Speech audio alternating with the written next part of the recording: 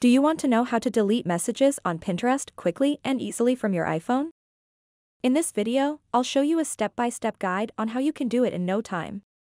After watching this video, you'll know exactly where to go and what buttons to tap so that you can manage your Pinterest conversations.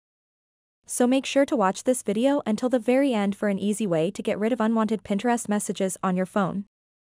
To get started, Open up the Pinterest mobile application and then tap on the little message icon at the bottom right of the screen. And then tap Messages. Once you're in your inbox, you'll see all of your Pinterest messages.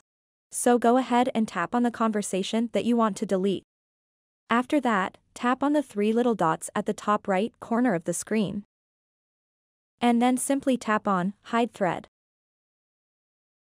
Tap on Hide. So the thing about Pinterest is that it only allows you to hide your messages, it doesn't let you delete them completely.